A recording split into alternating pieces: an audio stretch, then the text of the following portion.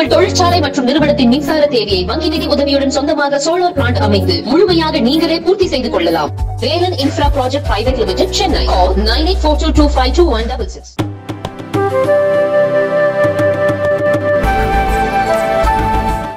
வீர வரலாற்றின் பிரகாஷ் டிலேவா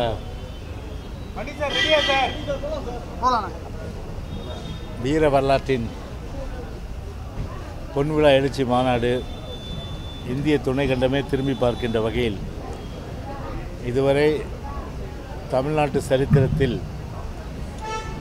எந்த ஒரு எந்த ஒரு இயக்கமும் இது போன்ற ஒரு வெற்றி மாநாடை கண்டதில்லை என்கின்ற வகையில் ஒரு சரித்திரம் படைக்கின்ற வகையில் இன்றைய தினம் நம்முடைய மாண்புமிகு எதிர்க்கட்சி தலைவர் கழகத்துடைய பொதுச் செயலாளர் அந்த எடப்பாடி தலைமையிலே தலைமை கழக மூத்த நிர்வாகிகளுடைய கலந்துரையாடல் கூட்டம் இன்றைக்கு நடைபெற்று வீர வரலாற்றினுடைய பொன்விழா எழுச்சி மாநாடு ஒரு வரலாற்று சிறப்பு மிக்க மாநாடு இருக்கின்ற வகையிலே கருத்துக்கள் எல்லாம் கலந்துரையாடல் செய்யப்பட்டது என்பதை தெரிவித்துக் கொள்கிறேன் கருணாநிதி நினைவாக கடலில் வந்து பேனா அமைக்கப்படணும் தமிழ்நாடு அரசு முடிவெடுத்திருந்தாங்க. கருத்து கேட்பு கூட நடத்தினாங்க அந்த திட்டத்திலிருந்து பின்வாங்க போகிறதா ஒரு தகவல் வந்துருக்கு இல்லை இப்போ உச்சநீதிமன்றத்தில் அனைத்து இந்திய அண்ணா திராவிட முன்னேற்ற கழகத்தின் சார்பில் வழக்கு தொடுக்கப்பட்டிருக்கு. என் பேர்லேயே வழக்கு தொடுக்கப்பட்டிருக்கு. அது என் பே என்- என் பெயரால் வழக்கு உச்சநீதிமன்றத்திலே தொடுக்கப்பட்டிருக்கு. தமிழ்நாட்டு மக்கள் இன்றைக்கு விலைவாசி ஏற்றம் ஒரு பசியும் பட்டினியுமாக இருக்காங்க. இன்றைக்கி தக்காளி விலை பார்த்தீங்கன்னா அது பாட்டு கிடுகிடுன்னு உயர்ந்துன்றது. வெங்காய விலை அது உயர்ந்துட்டு போகுது. இஞ்சி அதுவும் உயர்ந்துட்டு போகுது. அத்தியாவசிய பண்டனுடைய விலை உயர்வு ஒரு கடுமையான அளவுக்கு மக்களை பாதிக்கின்ற வகையில். அந்த பாதிப்பிலிருந்து மக்களை மீட்டு ஒரு பொதுமக்களுக்கு ஒரு மானிய விலையில். இப்போ எ- எங்களுடைய அம்மாவுடைய ஆட்சியில் மானிய விலையில் நாங்கள் வந்து எல்லா விதமான அத்தியாவசிய பொருட்களும் வந்து இது போன்ற ஒரு எதிர்பாராத சந்தர்ப்பத்தில் ஒரு விலையேற்றம் இருக்கும்போது அன்றைக்கு வந்து அந்த கார்பரேஷன் கிரியேட் பண்ணி கொடுத்தோம். அந்த மாதிரி வந்து ஒரு ஒரு அரசுடைய நிதியை அதற்கு பயன்படுத்தலாம். எண்பத்தோரு கோடி ரூபா வந்து கடலில் எதுக்கு கொட்டணும்? கடலில் கொட்டுறது வேஸ்ட்டு எண்பத்தோரு கோடி ரூபா. சரி ஊரெல்லாம் பார்த்தீங்கன்னா ஒரே விஷயம் இன்றைக்கி தமிழ்நாட்டில் நடக்குது.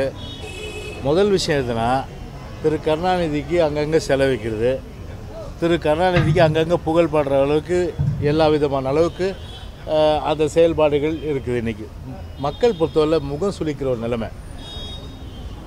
இப்போ இருக்கிற முதலமைச்சர் ஸ்டாலின் ஒரே வேலையாக அந்த வேலையை மட்டும் செஞ்சிட்ருக்காரு இரண்டாவது வேலையாக எந்த அதாவது வந்து தமிழ்நாட்டை வந்து சூறையாடி முழுமையான அளவுக்கு கொள்ளையடித்து தன்னுடைய குடும்பம் மட்டும் வளம் பெற வேண்டும் என்ற ஒரே எண்ணத்தோடு ஒரு தமிழ்நாடு சூறையாடப்படுகின்ற ஒரு நிலைமை. இந்த ரெண்டு வேலையும் அத்தியாவசிய அத்தியாவசிய பணிகள் அடிப்படை கட்டமைப்பு வசதிகள் இது எதுவும் மேம்படுத்துறதுக்கு உண்டான எந்த திட்டமும் இல்லை. ஆனால் இந்த ரெண்டு விஷயங்கள் மட்டும் இந்த அரசாங்கத்தை பொறுத்தவரை கவனம் செலுத்துது. இப்போது மதுரையில் நூலகம் திறந்தாங்க. நூலகம் என்பது வந்து ஒரு நல்ல விஷயமாக இருந்தாலும் கூட ஏன் அதுக்கு அவங்க அப்பா பேரை சூட்டணும் ஏன் இப்போ ஆயிரத்தி முந்நூற்றி முப்பது குரல் பதிமூணு அதிகாரத்தில் உலகத்திற்கே வந்து திருமுறை தந்தவர் நம்முடைய திருக்குறள் நம்முடைய திருவள்ளூர் அவருடைய அந்த பேரை சூட்டியிருக்கலாம். அது சூட்டியிருந்தால் மக்கள் மகிழ்ச்சி கொள்ளலாம். தமிழ் அறிஞர்கள் எத்தனையோ பேர் இருக்கிறாங்க. அவருடைய பேரை சூட்ட வேண்டியதானே உடனே அதாவது ஊரா விட்டுனே என் பொண்டாட்டி கைன்ற மாதிரி அரசு பணத்தை எடுத்து எல்லாத்துக்கும் இங்கே ஓமந்துரம்னா அவங்க அப்பா சிலை. அதே போல் கிண்டியில் ஆஸ்பத்திரி தான் அவங்க அப்பா சிலை.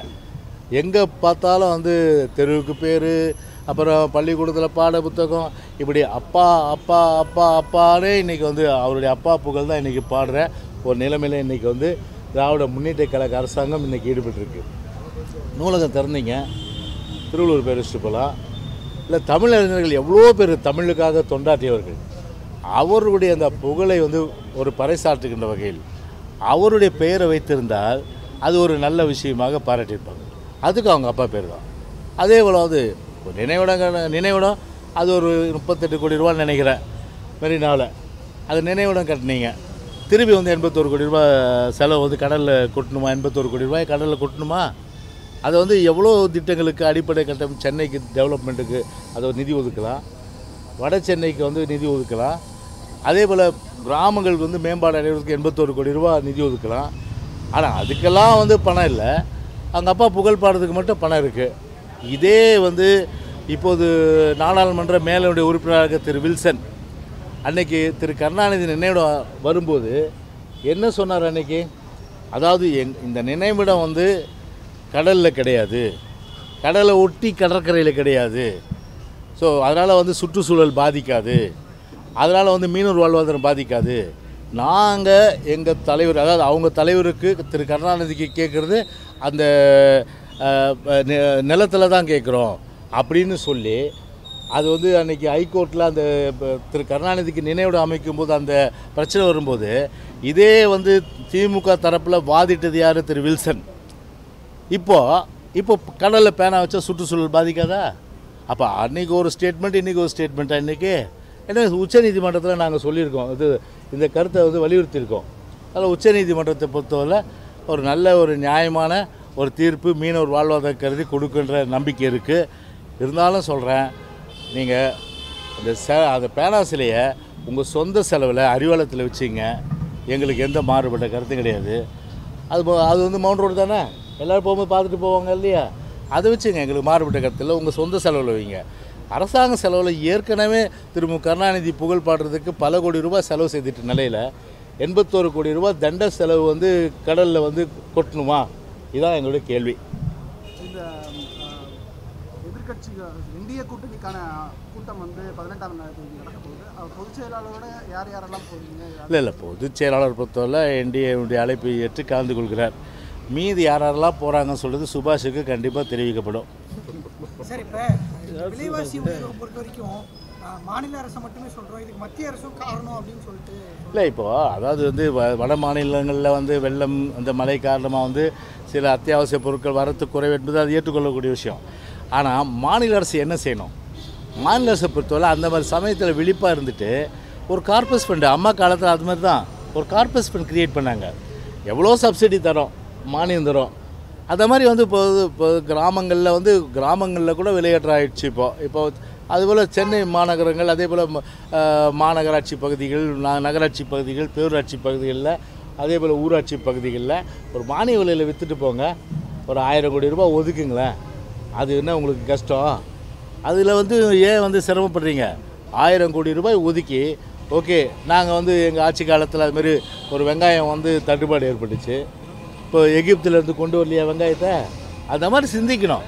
அந்த மாதிரி எந்த விதமான சிந்தனை இல்லாமல் வட மாநிலத்தை குற்றம் சாட்டுறது. விளைச்சல் கம்மியாக இருந்தால் விலையேற்றம் இருக்கும். வென்னவர் தேர் இஸ் வந்து ப்ரொடக்ஷன் வந்து டிக்ரீஸ் ஆனால் demand will increase demand increase ஆகும்போது என்ன ஆகும்? ஆட்டோமேட்டிக்காக வந்து விலை ஏறும். அப்படி இருக்கும்போது இப்போ உற்பத்தி கம்மியாக இருக்க சூழ்நிலை கண்டிப்பாக வந்து இதை மானிய விலையில் மக்களுக்கு அளிப்பதற்கு உண்டான அந்த நடவடிக்கை எடுத்தால் நல்லது. ஆனால் இதுக்கெல்லாம் ஒதுக்க மாட்டாங்க பணம் ஆனால் கண்டதுக்கு ஒதுப்பாங்க. கண்டதுக்கு நிதி ஒதுக்கி தேவையில்லாத நிதி ஒதுக்கி அதிலிருந்து ஆதாயம் பெறுவதற்கும் சில பேர் புகழ் பாடுறதுக்கு உண்டான வழியை தான் இந்த அரசாங்கம் செய்யும். உட்பட இங்க இருக்கக்கூடிய நிர்வாகிகள் தான் ஓபிஎஸ் சசிகலா மற்றும் என்னிடம் மன்னிப்பு கடிதம் கொடுத்து மன்னிப்பு கேட்கணும். நாங்க அவங்க கேட்க வேண்டியதுக்கான சூழல் இல்லை. நீங்க தான் எங்களுக்கு துரோகம் பண்ணியிருக்கீங்க அப்படின்ட்டு உங்களுக்கு ஒரு கவுண்டர் கொடுத்துருக்காரு. அதாவது ஒரு விஷயம் தெரிஞ்சுக்கிட்டீங்க. இது வழக்கமான நடைமுறை இது. வழக்கமான நடைமுறை தான் ம, கழகத்தினுடைய பொதுச்செயலாளர் வந்து ஒரு அறிவிப்பு மூலமாக கொடுத்து மன்னிப்புக்கிடலாம் இவங்களுக்கு ஏன் வந்து அது வந்து குறு குறுன்னு அது சரி நிர் நிருபர் உங்களை போகிற கேட்டாங்க. கேட்கும்போது ஸ்பெசிஃபிக்காக கேட்டாங்க. இது வந்து இன் இன்னார் இன்னார் டிடிவி பொருந்துமா? பொருந்தாது. ஓபிஎஸ் பொருந்துமா? பொருந்தாது. அதே போல் வந்து திரும்ப சசிகலா பொருந்துமா? பொருந்தாது சொன்னேன். அது நீங்கள் சப் கொஸ்டின் கேட்டதுனால நான் சொன்னேன் நான். ஆனால் பொதுவாக வந்து இவர்கள் எந்த காலத்துலேயும் கட்சியில் சேர்த்துக்கிறதாவே இல்லை. புரியுதுங்களா? ஒரு விஷயம். அது வந்து ஒரு நீங்கள் கேட்டதில் நம்ம தெளிவுபடுத்தியாச்சு. இவங்களுக்கு எதுக்கு அது வந்து குறு குறுன்னு அந்த இது அதாவது தீக்குச்சி இருக்க? அது எப்போதுமே தலகன் அதிகம். அதனாலே அந்த தீக்குச்சி தலகன் இருந்தாலும் தீக்குச்சி அழிகிற மாதிரி தான் அந்த கணத்தில் அழியும்.